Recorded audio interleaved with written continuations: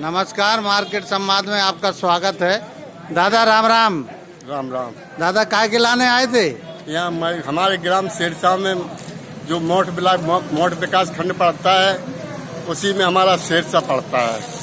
शेरशाह में मजदूरों को ढाई महीना से भटक रहे हैं उनको पैसा नहीं दिला रहे हैं। रोज़गार सेवक न प्रधान न सेक्रेटरी। और भ्रष्टाचार फर्जी डिमांड लगा के पाँच साल से रुपया निकाल रहे हैं। धड़ा धड़।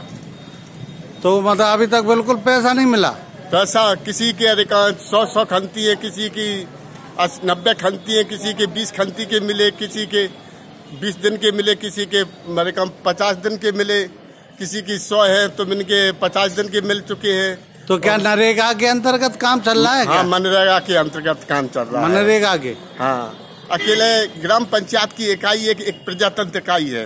अच्छा। इसकी सुरक्षा होना चाहिए। अच्छा। कब तक भ्रष्टाचार होगा? जब ग्राम पंचायत में भ्रष्टाचार होगा तो प्रजातंत्र का शोषण अत्याचार होगा। अगर उन्होंने आपकी बात नहीं मानी फिर क्या करोगे आप? नहीं मिला पैसा फिर?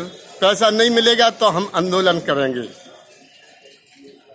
तो अभी आपने डीएम साहब को ज्ञापन दिया है? हाँ ज्ञापन दिया डीएम साहब को पत्र लिख तो आपका नाम क्या है? मेरा नाम है कृष्णा शेर शाह मजदूर।